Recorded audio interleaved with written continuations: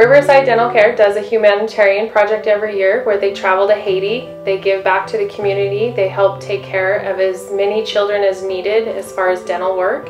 Uh, they travel into the mountains and hike the hillsides and see all sorts of children that have the need for dentistry, as well as hygienists teaching them how to clean their teeth.